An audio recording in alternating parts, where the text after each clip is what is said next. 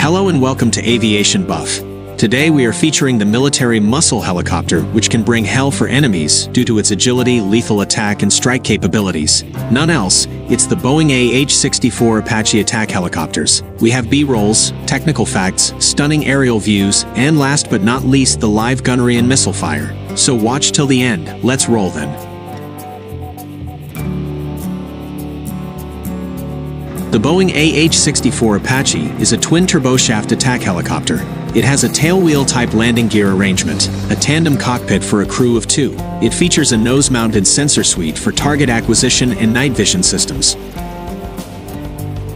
The U.S. Army is the primary operator of the AH-64 Apache. It is served in Panama, the Persian Gulf, Kosovo, Afghanistan, and Iraq conflicts.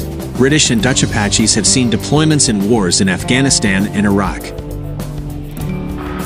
Upon fielding the Apache, its extensive use in night operations made it clear that it was capable of operating beyond the forward line of own troops. The Apache was first used in combat in 1989. It was during Operation Just Cause, the invasion of Panama. It participated in over 240 combat hours, attacking various targets, mostly at night.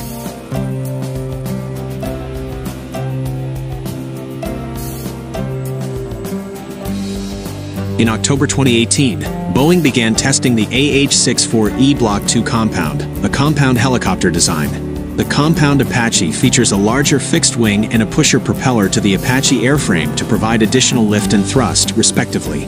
The compound Apache has been pitched as an interim replacement for the Apache AH-64. Now it's time to have a closer look at this ferocious helicopter.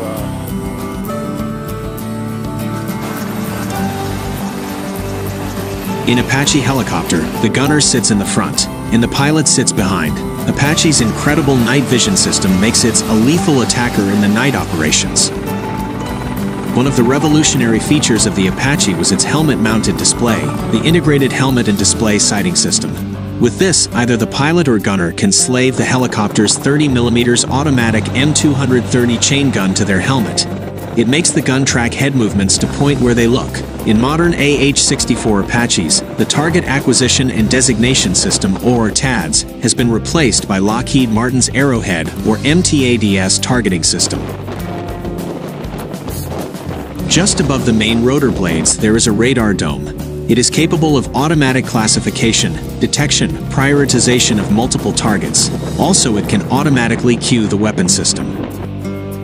The AH-64 is powered by two General Electric T700 turboshaft engines with high-mounted exhausts on either side of the fuselage. And not the least, it has four wing-mounted weapon stations which can hold up to 16 laser or radar-guided Hellfire missiles, up to 76 Hydra, 70 general-purpose unguided 70mm rockets. Starting in the 1980s, the Stinger and AIM-9 Sidewinder air-to-air missiles and the AGM-122 sidearm anti-radiation missile were evaluated for use upon the AH-64.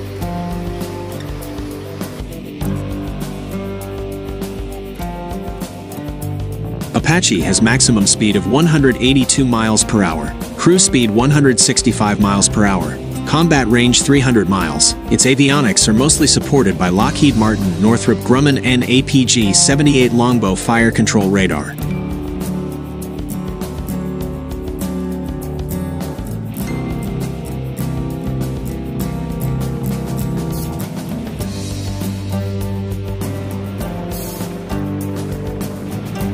These are Hydra 70mm rockets, which are getting loaded into wing-mounted weapon station.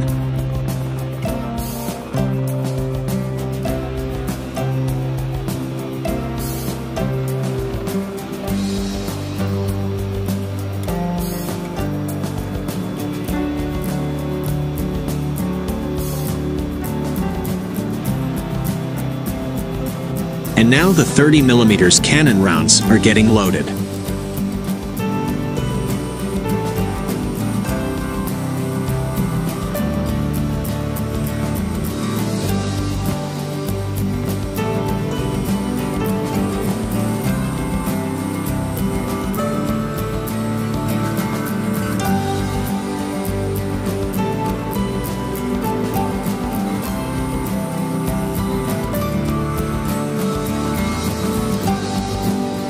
Now it's time for simulated AGM-114 Hellfire missiles.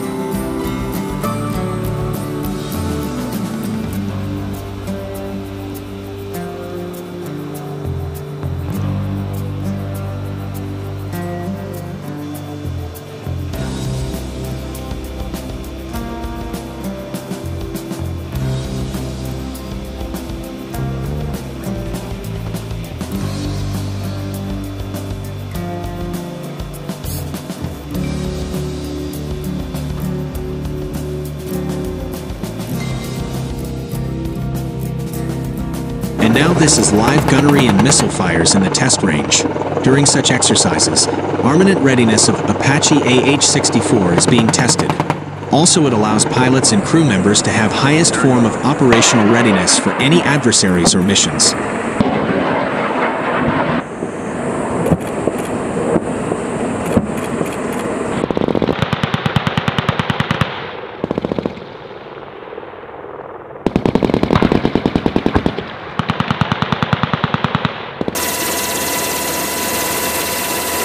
Soldiers assigned to 16th Combat Aviation Brigade fire AGM-114 Hellfire missiles from AH-64E Apache helicopters at Yakima Training Center, Washington.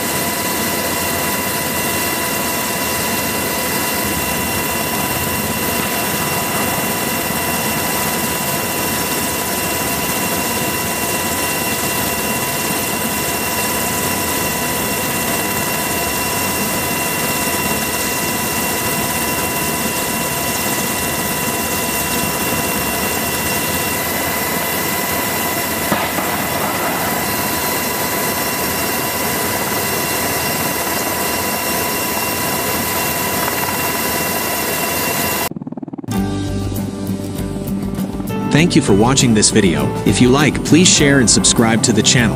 And also please explore other great content in the channel.